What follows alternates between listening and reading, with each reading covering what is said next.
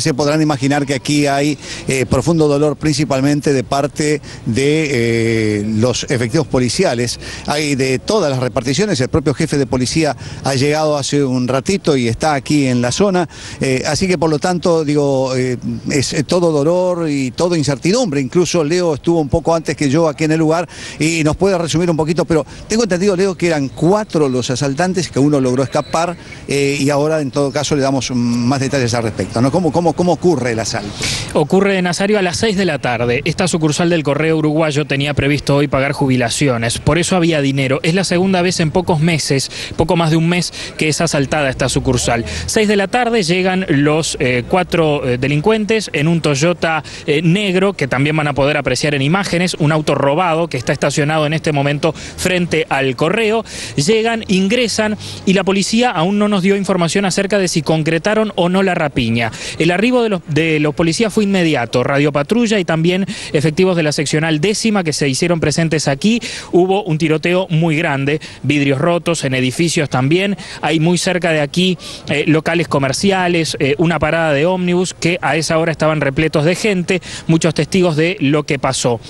Eh, lo que ocurrió después, eh, ellos finalmente eh, huyen, logran salir del correo, van hacia la esquina en donde hay un solarium, un club, sobre un restaurante y allí se atrincheran estos delincuentes armados y ensangrentados, destrozan muchas cosas dentro de ese lugar que es donde finalmente la policía los puede capturar. El tiroteo, como decíamos, fue muy intenso y de allí que salen estos heridos y también lamentablemente estas dos personas fallecidas de las cuales Nazario va el detalle. Eh, de acuerdo a los datos primarios aportados por la policía, el agente fallecido es Carlos Rodríguez, agente de primera, pertenece a la seccional décima. Me decían que es una persona muy querida incluso por los propios vecinos, por los propios comerciantes, porque hace años, desde que ingresó casi a la policía, trabaja en esta misma seccional de Positos. Los dos policías que están heridos, uno de ellos tiene entre cinco y seis balazos. Fue llevado primeramente a la Asociación Española y de allí lo trasladaban al hospital policial donde seguramente a esta hora está ingresando. Hay otro eh, funcionario policial herido también, no se sabe el estado, aparentemente tendría un balazo en una pierna, y hay eh, un delincuente fallecido y dos eh, rapiñeros también heridos detenidos. Así que por lo tanto de los cuatro uno finalmente logró escapar, que por lógica se supone debe haber escapado a pie, pues el auto quedó aquí. No hubo más víctimas por milagro, por la hora, por la zona, por la cantidad de gente que transita y que vive aquí en este corazón de Positos. Entonces digo, dentro de todo, eh, podría haber sido muchísimo más grave el resultado final, ¿no? Que todavía falta ver qué pasa, porque eh, reiteramos, el policía herido está muy, pero muy grave, de acuerdo a lo que me informó un oficial hace un, ratito nada más. Y la gente que permanece en la calle todavía incrédula no puede entender eh, tanta violencia que lamentablemente se está reiterando en nuestra capital cuando pasa este tipo de cosas.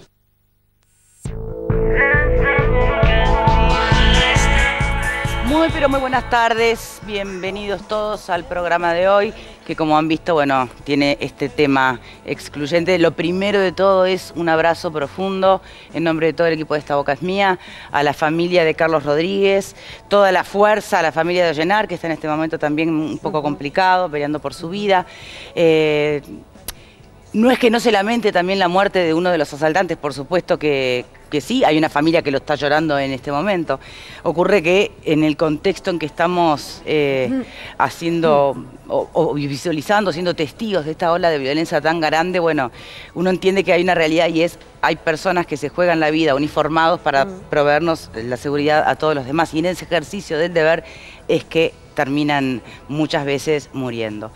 Eh, yo la verdad venía de hacia cruzando Positos, ¿no? Para, para mi zona, eh, y vi un tumulto imponente, eso de las 7, en lo que es Avenida Brasil y Benito Blanco, tanto que dije, qué bueno que agarré por berro y no me tuve que comer toda la trancadera.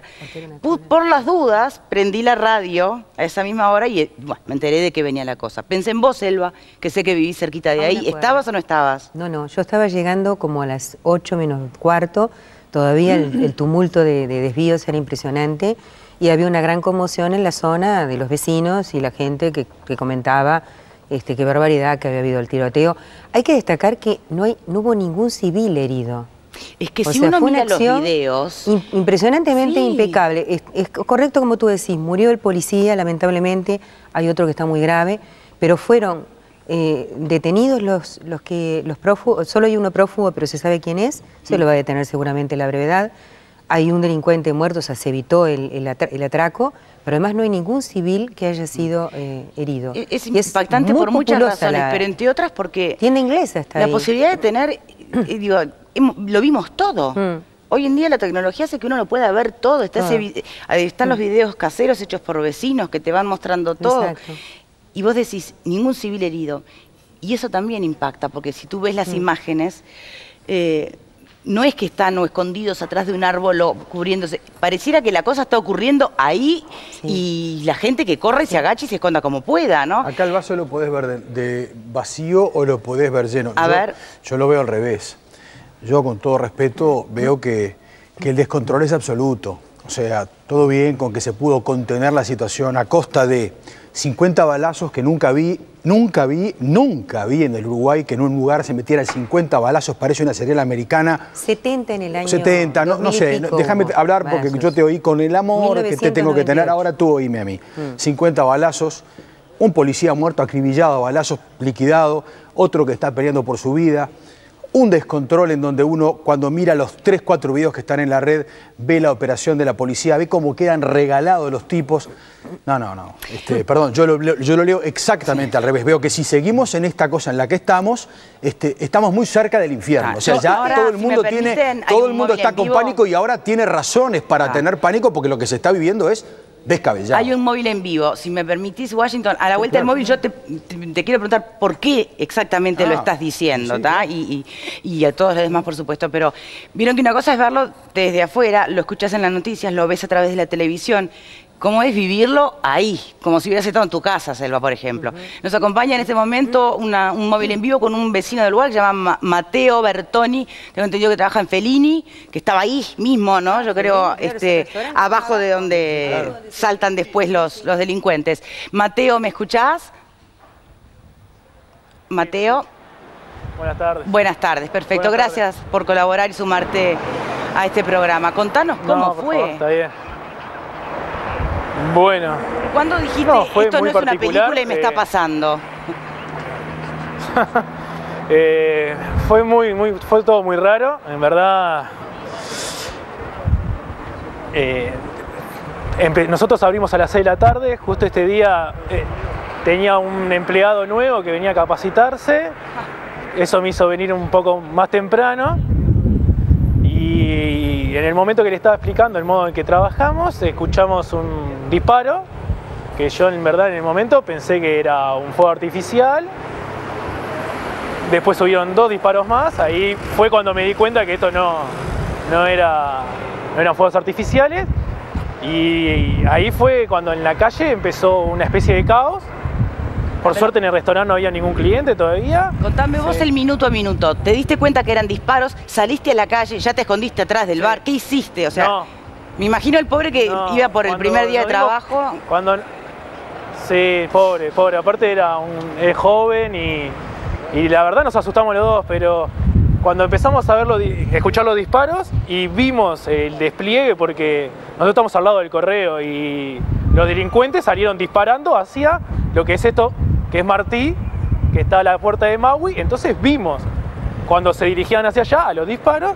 Eso provocó que mucha gente que estaba en esta calle corriera para esta esquina y ahí lo que atiné a hacer fue abrir la puerta y eran, sobre todo eran mujeres mayores que la mitad estaban esperando el ómnibus, que ya estaban tiradas en el piso y otras que venían de la rambla a cubrirse.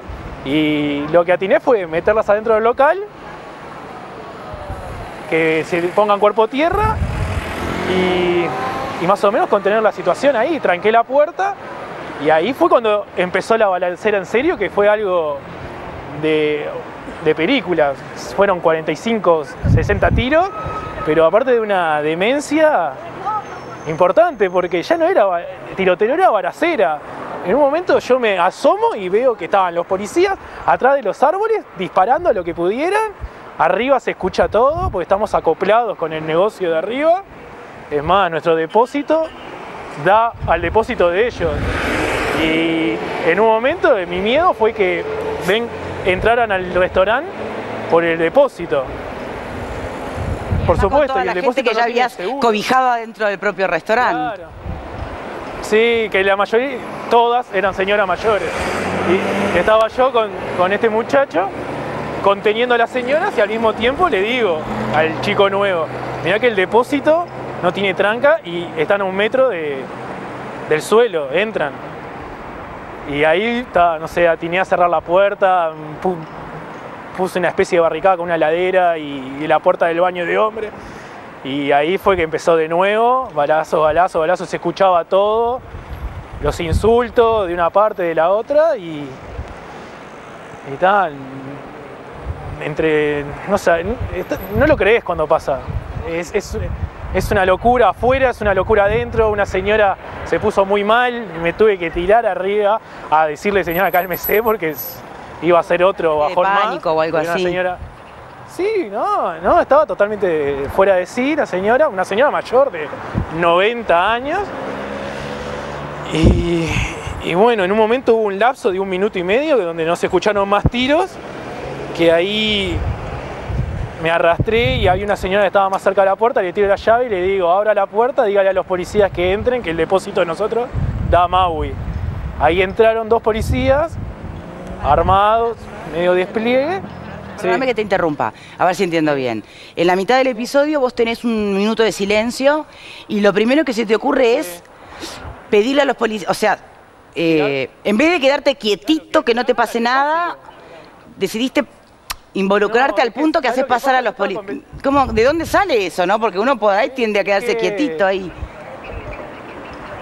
No, es que no, no pensás, no, lo pensás y, es que para mí era inevitable que entraran, era inevitable, porque estaban acorralados por Martí y por Benito Blanco, la lógica es que salieran por el fondo y el fondo es no da, da al restaurante. Y, y era cuestión de tiempo que aparecieran. Y yo escuchaba que si estos tipos se atreven a dispararle a la policía, van son capaces de hacer cualquier cosa. Y, y cuando en ese lapso de tiempo le tiro la llave a esta señora que estaba más cerca de la puerta, entran estos policías, revisan, salen de nuevo y ahí se produce la segunda parte de la balacera, donde termina creo que se entregan dos que bajan del techo. Pero lo que quiero aclarar es que acá en el restaurante no hubo ni rehenes, ni nos dispararon. Sí nos llovían las balas y teníamos que estar a ras de piso porque se fue de las manos. Hubo una reacción eh, como que rápida, sensata e inteligente de, todos en realidad, porque este, nadie los cuidó, se cuidaron solos, digamos. Eso, a tirarse al piso, a esconderse, son cosas que te nacieron instantáneamente a vos y a los que estaban allí, pero podrían haber quedado paralizados. Y en 60 balas, ¿una te, te da o no? Sí, no. Sí, no, no, no. Eh, pero es que te digo, no, no lo pensás, lo haces. Lo haces. Y más cuando ves que ves que la gente está tirada en el piso en la calle y sos consciente que afuera eh, estaban lloviendo balas, pero veías cómo pegaban en la calle y era una... No, no, sé, no podés dejar a la gente afuera. ¿Cuánto demoró todo el episodio? Y para mí fueron como dos horas. Tiempo sensación tuya, después el real es otra cosa. Para vos que fue una vida, un minuto. Dos horas. ¿Horas? dos horas, dos horas. No pasaba más. Dos horas y después me enteré que fueron 20 minutos. Claro. A ver, eh, ¿Cuándo dijiste algo? Terminó. ¿Cómo supiste que había terminado? Mira, yo estaba cuerpo tierra, prácticamente viendo al piso porque ya yo era un convencido que iban a entrar por el depósito. Y cuando siento que no habían más disparos y escucho a una de las señoras terminó, terminó, a todo esto ya la puerta había quedado abierta de cuando entraron la policía y entró un oficial y nos dice, terminó, están todos bien, hay algún herido. Dijimos que no. Lo único que teníamos era esta señora que estaba con un ataque de pánico, que le saqué una silla a la calle y la senté y después, cuando salimos nos dimos cuenta de la gravedad de esto, porque era la calle con sangre, los policías, muchos policías. Yo tengo que decir una cosa, la policía, la verdad, fue espectacular. Eh, ¿Todos por ahí, todos los vecinos? Sí, sí, sí, sí, sí. Para mí el accionar de...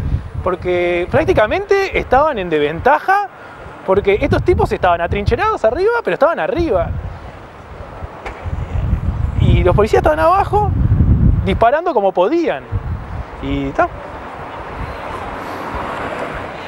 ¿Quién fue la primera llamada telefónica que hiciste? Pues yo me imagino que esto empieza a circular, sale en la noticia y bueno, toda tu familia que sabe que trabajas en esa esquina. ¿A quién llamaste primero? Bueno, durante el tiroteo, durante el tiroteo agarré y llamé a mi tía. Que sí, durante. Y lo único que le dije fue no vengan y hace algo. Y ahí colgué, yo estaba sin celular. ¿Qué esperabas que hiciera tu tía? ta, después sí, tuve una ya. No sé, Sí, claro, no sé, que no viniera primero. Por que no donde se pueda, lógico. Sí, Qué sí. Bueno, a ver, este, Eh, evidentemente vas a tener esta experiencia como uno de los recuerdos más impactantes de tu vida. Por suerte vas a poder reproducirla contársela a tu familia, a tus nietos y demás. Ni que hablar para el joven que, que empezaba. No sé si hoy fue. ¿Hoy fue? Hoy se apareció. No, creo que va a volver, va a volver porque después de esto yo le dije, mira, flaco, no te conozco, pero ya sos mi amigo. Y sí, me imagino. Si, si se mantuvo estoico ahí, eh, va, va a ser un, Sí, no, gran compañero de trabajo. Nos, a- nos ayudamos mucho en el tema de contener a la señora, porque éramos prácticamente los únicos dos jóvenes. ¿Vos pudiste ver de cerca a los eh, delincuentes cuando corrían por ahí o no? ¿O fue muy rápido que pasaron? Yo los vi, no los distinguí cuando se estaban dirigiendo a Mauri. Y, y después no, cuando los arrestaron, no, ahí ya estaba, estaba en el piso. Mateo, muchísimas gracias eh, por este relato súper en, en- así, en carne de viva, ¿no? Muchísimas gracias. Sí, pero está. Está, dale, de nada, por favor. Caramba, es un relato que pareciera de, de película, ¿no? Y no de... Pero- Todos los días nos va a pasar esto de decir, Abdala qué increíble. Abdala Ayer decíamos cómo ha cambiado el escenario, niño de 11 años. Hoy esto, yo Hablar no dijo algo interesante. Estamos cansados de ver series de televisión, sobre todo americanas, donde hay una policía bastante más grande que la No, nuestra y con más, más- no, y con no más fuerza. Y de pronto frente a un eh, ¿Qué tiene que ver Cuba con esto que estoy diciendo? Pues Estoy sí, diciendo eso las series. no, vos- que no solo pasa en series no americanas, que debe Yo pasar serie cubana la no veo, violencia en veo todos series, lados. america- series americanas. No son siempre las series Pero voy a americanas, esto, voy a digo, esto. Que eso. teniendo esta confrontación, uno de pronto ve que para detener a los ladrones terminan matando, yo que sé, 25 civiles en el camino, porque lo vemos hasta en las películas. En las persecuciones, Las en las persecuciones cosas. es terrible que vos decís, pero los tipos chocaron a la mitad de la gente, Claro. atropellaron, mataron, etcétera, y luego terminan eh, capturando a uno. Entonces, a mí me parece que es de destacar que la persona que estuvo en el lugar, que es este muchacho, y que dice esto, y la gente efectivamente en el barrio opinó, la rapidez con que la policía respondió, eh, obviamente es una cosa que de una gravedad insólita y de una violencia insólita, que hay que saber que en el mundo esto está ocurriendo, no solamente No, no en el Uruguay. sirve, perdón, perdón, perdón, no me sirve esa explicación, te voy a explicar por qué. Perdóname, dejar, No, de- termina, me dejas termina. terminar de Pero hablar. eso es una teoría Y segundo, justificatoria y no me parece este correcto tema eso. está No es correcto. fundi- Nosotros no somos una burbuja Ah, no. en el aire. Yo te voy a explicar. Somos la violencia en el mundo se ha incrementado No, yo te voy a y alcanza con ver países como Noruega donde un tipo sale y Sí, mata sí, a sí. 32 en una isla, por favor. No, No, me, me que- hagan acordar. Exposiciones Entonces, más breves, por favor, señores. Ya, no, termino con esto. No, déjame contestarle, por favor. Obvio que no quiero acostumbrarme a esta violencia. Está bien, Es te voy a decir una cosa. En el mundo, en realidad, lo que está pasando es exactamente lo contrario a lo que estás diciendo. No vos. me digas. Sí, señora. Mira. Lea editorial de Economist de hoy, en donde en lugares en donde hay crisis económicas, en realidad, hasta en esos lugares se puede abatir el delito. En Uruguay lo que está pasando es que el delito se incrementa. Se decía que la rapiña se había caído y en realidad está en el 8% en este semestre, cuando estaba creciendo a un ritmo del 2%. Lo que está pasando acá es que es un descontrol absoluto. Y hay pruebas de lugares donde se pueden montar mecanismos de prevención para evitar esto. Hay sistemas, hay software, hay mecanismos donde se, los puede, se puede acotar. Acá lo que está pasando es aún algo más grave. Uno, la población toda en este país siente que estamos desprotegidos. Toda. Este es el tema número uno. Dos, la policía ya no se siente representada por este ministro. ya no lo quiere, no lo respeta. Lee, político, yo te oí, yo te oí. Lee el documento del círculo policial de hoy. Es imponente lo que el círculo policial hoy dice del ministro. Y tres, la policía en este país no está lo suficientemente preparada. Yo vi todos los videos y veo como los policías le ponen para adelante hombría de bien, entrega, pero falta muchas veces cierto especia- cierta especialidad para poder enfrentar esto que es demasiado De grave. formas, está fuera es de como control. tú lo dijiste, hay dos más. formas de ver el vaso, medio vacío, medio lleno. no, yo lo ya se entendió el planteo. Eh, Silvia, señores, por favor. Silvia. Respecto a eso, si me permiten, quería decir algo, ¿sí? Este, primero, bueno, el accionar de la policía, que muchas veces decimos que la policía no reacciona, no viene a tiempo, además, acá vino más que a tiempo, eh, actuó como tenía que actuar, cosa que este, realmente lamento muchísimo la muerte de ese policía. No puedo decir lo mismo del delincuente, lamentablemente. Eh, pero sí estamos viviendo lo que viven muchos barrios de nuestro país. Eh, hay muchos barrios que hoy son llamados zona roja donde viven a diario tiroteos y donde matan también policías y donde la policía entra como puede. Muchas veces ni siquiera se anima a entrar porque saben que lo están esperando para matarlo. Acá pasó en Positos, pero ha pasado en muchos lugares, en el Marcón y en todos esos lugares, la gente a diario vive tiroteos. Eso es para que veamos que esto se está expandiendo absolutamente a todos y que no somos ni mejor ni peor que nadie, estamos en la misma rosca que todo el país, con este, muchísima inseguridad. Nazario Zampayo, gracias por acompañarnos hoy. Quiero que Por sepa favor. que además de estar Nazario, hay policías, algunos que nos acompañan, que han venido incluso directamente del velorio. Eh, también nos acompaña la- una integrante de la Comisión de Salud Laboral de la Asociación de Funcionarios Postales del Uruguay. Muchísimas gracias. Tenemos mucho para compartir hoy. eh. Nazario, volviendo al relato. Eh, en tu experiencia y por otros episodios que has vivido este, como primer testigo, acá sí vino rápido la policía, sí respondió mm, este, en, en la mejor manera, sí hay que ver el vaso medio lleno. ¿Cómo hay que ver este episodio en concreto? Yo voy a referirme concretamente a lo ocurrido ahí, pero permitíme ir eh, dos hechos en la historia de no muchos años. ¿De grandes donde hubo balaceras? mucho más intercambio de balazos que en este sentido. A ver, pará, en La total, ¿cuántos se hablan Benavides- acá? ¿Cuántos se hablan acá? Verá, ¿Perdón? ¿De cuántas balas se hablan acá? efectivamente? Acá entre 50 y 60 disparos. Bien, a ver, Eh, la muerte de los famosos Benavides, los hermanos Benavides, a ver, contanos. fue allá en el año 88, si no me engaño. Yo recuerdo que yo hacía poco que había entrado al canal y estaba, era un 25 de agosto, y yo estaba en Florida, donde se hacían los actos patrios, y el ministro del Interior era el general Medina en ese momento. Yo le hice una nota a él y todo más sobre los hechos ocurridos, pero aquí en Montevideo hubo un enfrentamiento a balazos terrible ahí en la zona de la Unión, Flor de Maroñas, eh, donde hubo policías muertos, donde hubo ¿Civiles? delincuentes muertos, civiles no. Después el hecho se traslada al Cerrito de la Victoria, donde se habían escondido algunos de los hermanos Benavides. Allí otro terrible tiroteo, pero con metralletas. Tiraban y tiraban y tiraban y tiraban. Es decir, ahí 200 balazos fue poco posiblemente. Pero digo, no viene el caso. Es un hecho para decir No, está que bien, está bien Fue porque- mucho más violento que en este caso, Sí. ¿verdad? Eh, y después, más acá en el tiempo, no recuerdo bien la fecha, el asalto a la sucursal del BPS del Parque, Parque Posadas, donde hubo por lo menos 100 disparos más. Es decir, este sería, eh, así, recordando rápidamente el tercero en cuanto a cantidad de disparos. O sea, hubo hechos mucho más violentos años anteriores a lo ocurrido ayer. Eso en primer lugar. En segundo lugar, ¿Hubo muerte de Eh, policías, Nazario, en, lo- en los sí, otros? Sí, sí, sí, hubo muerte de policía en los dos hechos. Tanto en la. Hasta hoy se recuerda uno de los policías muertos. ¿no? Que eso es lo que a uno le duele, ¿no? este, hasta hoy se recuerda. Este, yo quiero ir a, concretamente a este detalle. Según me informó hoy la policía de Canelones, el delincuente muerto, eh, que vamos a darle el nombre de él, ¿no? Lo tengo por acá, permitime que tengo que buscarlo.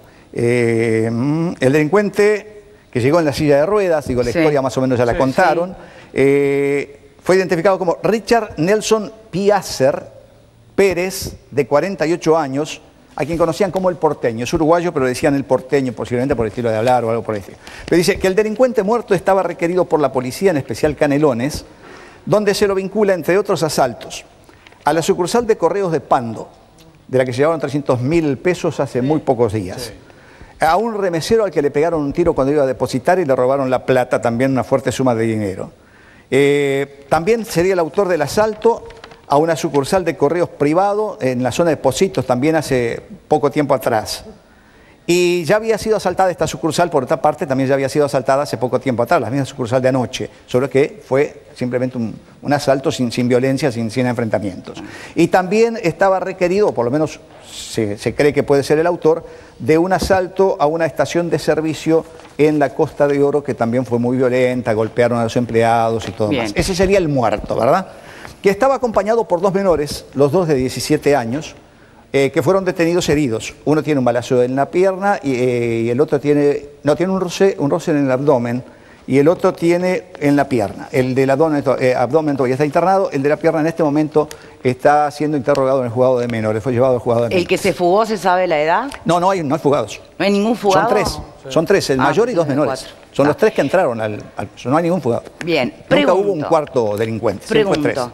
eh, por lo que tú contás del fallecido, ¿no? Del Sí. delincuente fallecido. Con, con esa lista o, o ese currículum, no sé cómo habría que decirlo. Eh, El currículum. Uno tiende a pensar que, que, estamos hablando de gente. Sí, claro, pero me parecía. Este, que era, aplicaba mejor currículum, Sí. dadas las circunstancias. Eh, no estamos hablando de amateurs, estamos hablando de tipos que, este, ¿no? que no sé si llamarlo profesional, pero digamos. Y uno lo que veía, ¿así funcionaría un grupo profesional? ¿Cómo decís tú? No Claro, mi pregunta es, ¿esto pasa, este, este, este escenario de balacera, termina pasando cuando se trata de personas este, profesionalizadas en el crimen? Bueno, ahí Hubiera vamos a la ¿Qué otra. pasaba si hubieran sido novatos? ¿Hubiera sido mucho más dramático? ¿Hubieran muerto civiles? ¿O tal vez se hubieran dejado amedrentar por la policía de una y no había ni la mitad de balazos? Bueno, lo que pasa es que cada hecho tiene un entorno diferente, es decir, depende cómo se presenten. Digo, y aquí voy a lo que yo quería agregar al final también, eh, como, como detalle técnico de la policía.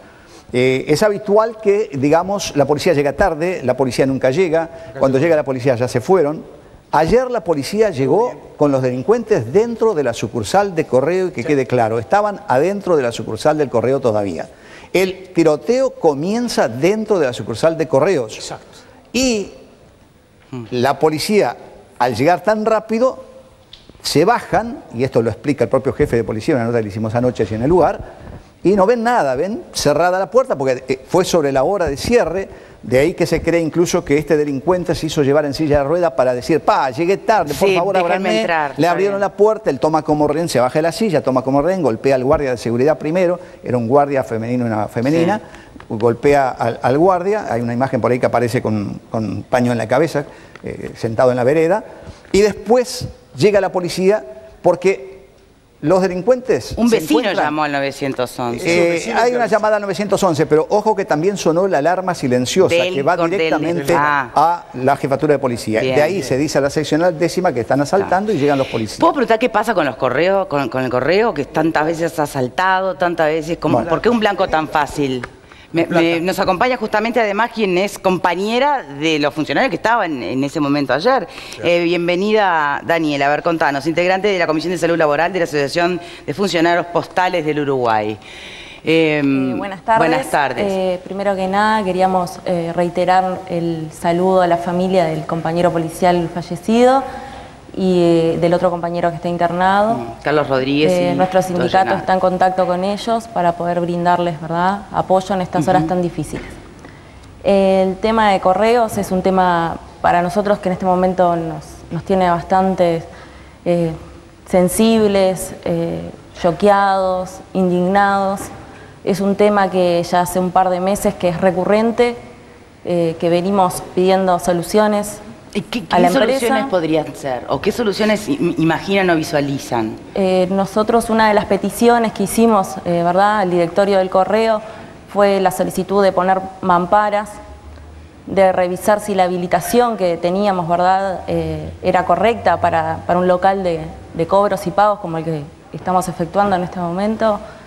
La empresa nos responde que hay un decreto, ¿verdad?, del Ministerio del Interior del año 2011, el cual dice que el local así está habilitado, pero evidentemente nosotros estamos viendo que, que no, que no estamos siendo resguardados, ¿verdad?, nuestra integridad, eh, que estamos expuestos.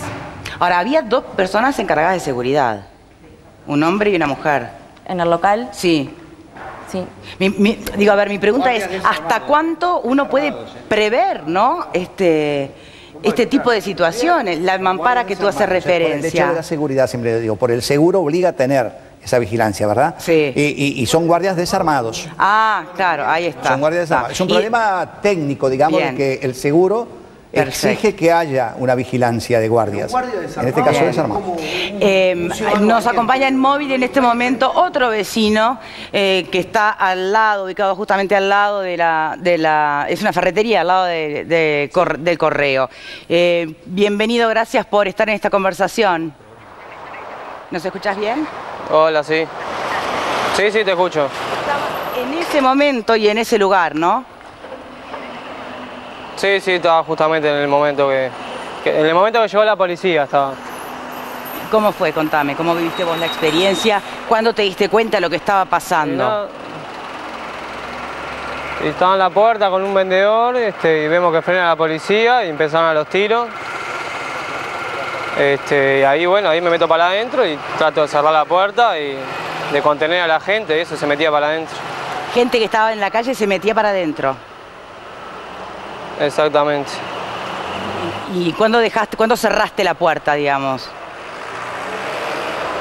Y en el intermedio que cesaron los tiros en un momento, me asomé, cerré, todo por el, por el piso. Este, y después volvía para atrás, me metí en el baño porque era un- una balacera muy intensa. ¿Qué te cruzó por la cabeza? ¿Recordás que se te haya cruzado algo en concreto por la cabeza? Y volver a mi casa, ver a mi hijo. ¿Pensaste verdad, que, que realmente esto, salado. pensaste que, que eso iba a terminar mal para todos los que estaban ahí incluso? Y sí, porque así como corrieron para el tema de las camas solares, podían haber corrido para este lado. Y esos tipos estaban acorralados y se meten para cualquier lado. Es increíble. Uno está viendo, estamos viendo en imágenes ahora, las imágenes del móvil justamente donde estás tú, cómo van mostrando los agujeros, ¿no? En las ventanas, en las paredes. Y uno dice, dentro de todo se dan cuenta que ha sido una, un milagro que no haya ningún civil herido, ¿no? Sí, la gente seguía pasando aparte. Fue, ¿Qué me decís, perdón? este, la verdad, momentos muy feos. Que la gente seguía pasando, la gente que venía escuchando música o algo no se daba cuenta de lo que pasaba. Ah, claro, Entonces además eso. caminando y... Y hoy que estamos todos con las cosas en las orejas o el celular. Y cuando y esa gente justamente, claro, no había pensado en eso, en la gente que va en su mundo, como hacemos tantas veces todos, ajenos a lo que iba pasando y que por ahí también hasta en eso te das cuenta que es increíble que no haya pasado eh, nada. ¿Vos llegaste a cruzarte con alguna de esas personas que iban en otra y, y las tuviste que alertar o algo? No, no, yo estaba tirado en el piso y tratando de que no me cruce ninguna bala perdida. Sí, claro. claro. ¿Hubo alguno que entró en pánico de los que estaban allá adentro contigo en la ferretería o se mantuvieron todos este, contemple? No, no, lo pudimos contener, por suerte. El vendedor que estaba me ayudó y que se queden todos quietos, tranquilos y en el piso hasta que pasara. Yo me imagino que después de que pasó todo, durante un ratito deben haber estado como que en silencio, ¿no? Mirándose sin entender mucho. Yo no sé, me imagino. Contame vos cómo fue una vez que todo termina. Si una vez que termina sale la gente, este, yo trato de acomodar las cosas, cerré la cosa y me quedé adentro un rato acomodando las cosas porque en la pasada se tiraron muchas cosas mientras que corrimos para el fondo para escondernos. ¿Te quedaste que acomodando los artículos de venta de la ferretería? ¿Cómo todos reaccionan diferente? Qué increíble. bueno, y hoy te levantaste y que dijiste, no fue una pesadilla, fue real. Estoy vivo, por un lado, gracias por eso, pero que... Hay que seguir. Exacto. Hay que seguir, hay que pagar las cuentas y esto es lo que me da de comer, así que hay que continuar. Y no dejarse amedrentar, ¿no? Está bien. Muchísimas gracias por esta conversación, ¿eh? No, por favor. Gracias a ustedes. Hasta luego. Qué increíble, cada uno reacciona como puede. Él se quedó juntando las cosas en la ferretería, increíble. Zampayo, muchísimas gracias por habernos acompañado. Tenemos que hacer una pausita. Cuando regresemos, me la contás. Sí. Pequeño agregado. Dale. Eh, siempre eh, la, la población se ha quejado que la policía llega tarde. Que nunca responde Tomás. Había empezado a decirlo y no lo terminé.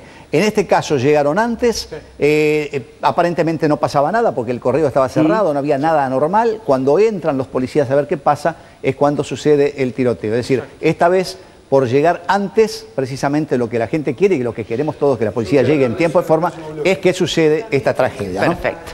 Gracias, Ampayo, por habernos acompañado. Ah, pregunta para Karen y nos vamos a pausa. Hola, buenas tardes para todos. ¿Qué tal? ¿Cómo están? La pregunta para ustedes, para que inicien la votación a partir de este momento, asalto y tiroteo en Positos. ¿Vos crees que es posible parar tanta violencia? Veremos qué da la votación. Mandás tu SMS al 1212, pone boca 1 si pensás que sí es posible pararla y boca 2 por el no. Esta boca es mía, arroba tele12.com es nuestro mail para que nos escribas. Recibimos tus comentarios también a través de las redes sociales, arroba esta boca es mía 12 Twitter y esta boca es mía 12 el Facebook. Bien, tanto urgente que te necesitan en Telemundo, Zampayo, me están diciendo. Eh, un policía nos visita en el próximo bloque, ya venimos.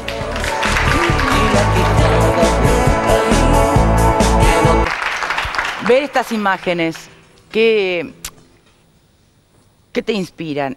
¿Te parece que es un procedimiento habitual? ¿Te ves reflejado en, el- en ese accionar? O, o también a ustedes como policías, esta balacera fue algo muy poco común. Sí, en primer lugar lo que nos produce es angustia, es bronca contenida por eh, cada una semana nos estamos acostumbrando a perder un trabajador a manos de la delincuencia. Parece que es costumbre eh, en, el- en los uruguayos ahora ver en las noticias que un delincuente mata a un trabajador. En este caso, trabajadores policiales, uno que muere, el otro que se debate entre la vida y la muerte. Yo escuchaba a uno de los testigos que decía, eh, pensaba volver a casa a ver a mi hijo. Mm. Y yo pregunto, ¿qué piensa cada policía cada día? ¿Ustedes se suman a la información que dio hoy el círculo, polici- este, mm, el círculo policial, sí, correcto? Que de alguna manera se suman al clamor popular o algo así, lo, lo dicen, para que haya un recambio de autoridades, responsabili- responsabilizan al Ministerio del Interior, responsabilizan a las autoridades por este aumento de inseguridad. No, no, eh, no, no nos sumamos. Digo, nosotros tenemos o- otra postura en este sentido, tenemos otra visión. Creemos que, sinceramente, hoy un cambio de autoridades no, haría, no le haría bien a la seguridad, sino que acá hay que reencauzar lo que es eh, la seguridad del país, la seguridad interna. Hay que tener protocolos de actuación y eh, usarlos. A ti, tú, tú cuando los vistes ahí, a tus colegas, ¿no? Disparando, ¿te pareció? Claro, una cosa es ver ese fragmento, no, se- no se sabe cómo fue todo, a menos que hayamos estado ahí, pero digamos, em, o qué se comenta entre ustedes. ¿Hubo, un- ¿Hubo un proceso que se respetó, procedimiento mejor? ¿Hubo un protocolo que se respetó o fue un sálvese quien pueda y como se pueda? No, no hubo un protocolo que se haya respetado que se haya usado, porque como ven, llega un patrullero en primera instancia y lo que ve es eh, nada, que no había nada, y los dos policías entran al, al local de correo. Si ellos son avisados de que está eh, sucediendo una situación de, de robo, lo primero que se debería hacer es pedir apoyo. ¿no? Porque No evidentemente que, que- que son avisados de que algo está sucediendo. Por eso digo, no se siguió un protocolo. Eh, lamentablemente eh, las personas tenemos esa debilidad de, de querer resolver los problemas en el momento. Y, y por esa necesidad de resolver los problemas en el momento muchas veces perdemos la vida, como le pasó a los compañeros. No podemos seguir perdiendo la vida de esta manera, nos podemos seguir perdiendo con la delincuencia.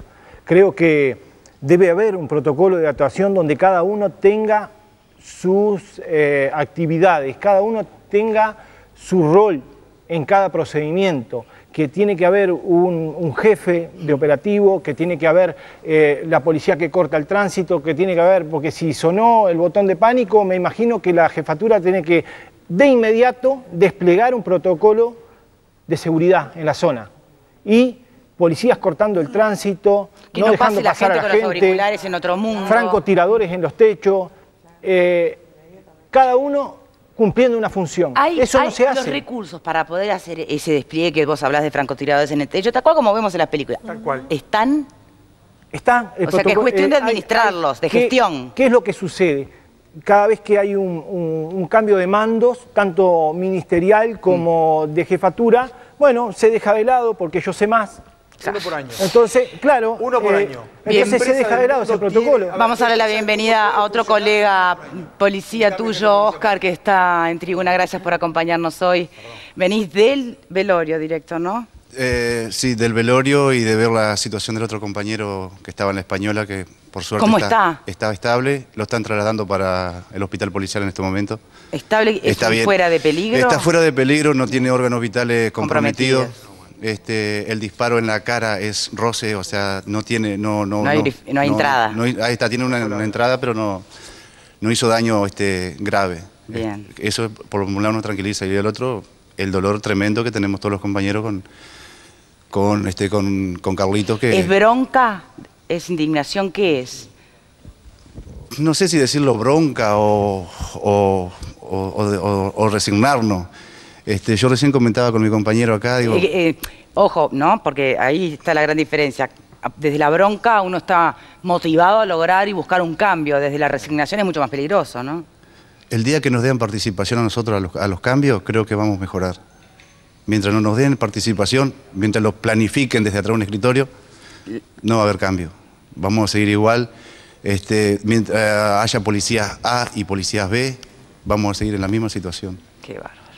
Pausa y enseguida venimos. Les prometo la palabra a los que no han hablado en el próximo bloque. Ya venimos, ¿eh?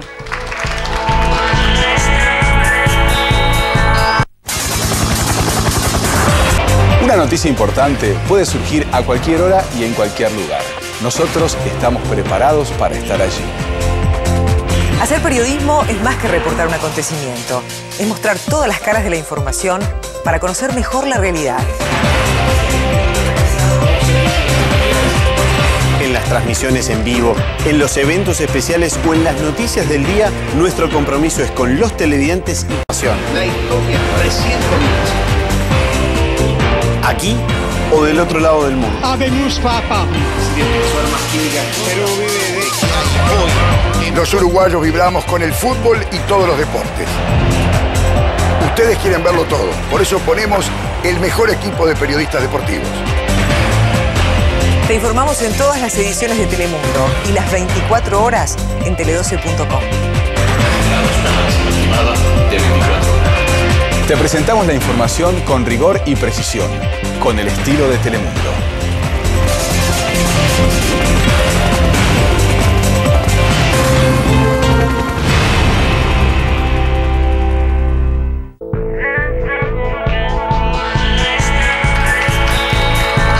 Marce Capalvo, que todavía no hablaron. Bien, cortito en, mi- en lo que me toca. Pues es que ayer, cuando termino de ver en la televisión lo que estaba pasando, dije, en cualquier momento viene el mail de Tania diciendo cambio de tema. ¿Verdad? La vi venir de entrada. Sí, porque eh, vamos a explicar a la gente, el tema pre- Claro. previsto para hoy era otro. Obviamente. Entonces empecé a pensar en el tema este, ¿no? Eh, y bueno, lo primero que me llamó la atención, digo, porque hay veces, este, seguro, cuando la policía no responde, o cuando tuvimos 20 minutos llamando y no había patrullero, también es noticia. Obviamente, hoy tenemos la desgracia, en la cual también me solidarizo con la familia de los policías, nos encontramos en un punto en el cual, de alguna manera u otra, yo no le quiero llamar casualidad, sino causalidad, ninguna persona que pasaba por el lugar o nadie sufrió nada. civiles, Eso significa que la policía de alguna manera actuó en la forma correcta de salvaguardar la integridad de los transeúntes. Eso no es casualidad. Para eso hay que estar preparado. Lo que él habla de situaciones límites, hay que saber responder también en situaciones límites. De repente el error del policía por un protocolo, pero luego ante situaciones límites, la policía actuó con inteligencia. Ter- No, déjame terminar, y lo último. Eh, lo otro que me quedaba pendiente es que el otro día discutimos la ley de la marihuana, hablamos el aborto, y en esto seguimos en lo mismo. Acá tenemos algo que es de sentido común. Sentido común.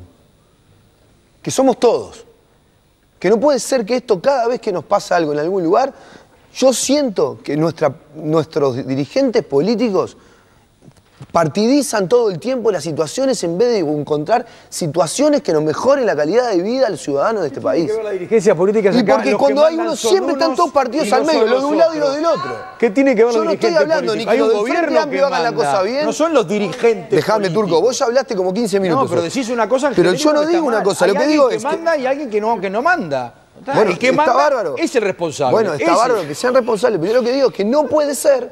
Yo no digo que los del frente hacen bien, los colorados mal, los blancos notables. Ni que no los sé, no me y colorados, importa. si no, no Yo lo que exijo es que respondan como deben responder. voy a hablar yo. Permiso. Este... Ay, ¿no querés moderar vos un rato? No, mi amor, Lo harías, tú lo harías bien, Glenda. Yo no sería capaz. Eh, yo quiero decir dos cosas. La solidaridad, eso va de suyo porque ya lo dijeron todos los compañeros. La vida del delincuente, al igual que Selva o Silvia, realmente no me interesa. Sí, lo lamento por su familia, Claro. que de pronto no es culpable de esa situación. Ahora, politizar, no politizar, yo he conocido montones de ministros del Interior y siempre que pasa algo se le echa la culpa al ministro del Interior. Yo coincido con él. Si yo cambio por la mitad, capaz que retrocedo. Él es Oscar de los Santos, el policía, ahí está. Mm. El señor Héctor de los Santos. Yo coincido.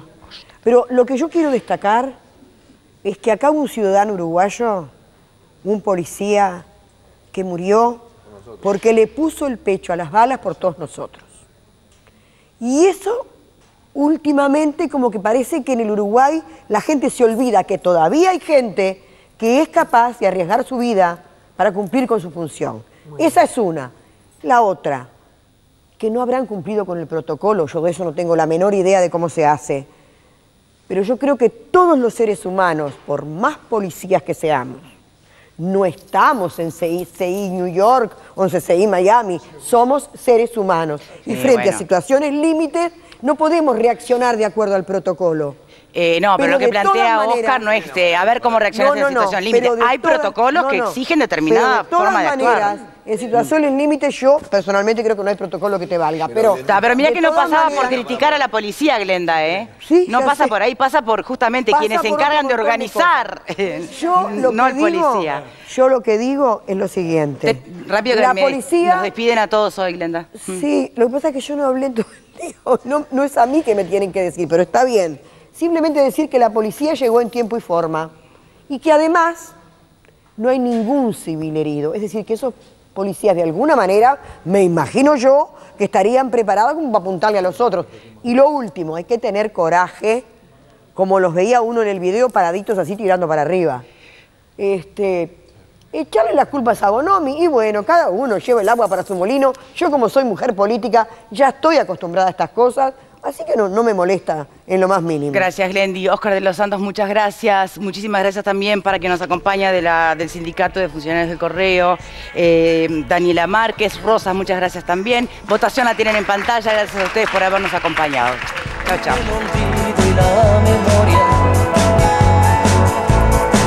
Entre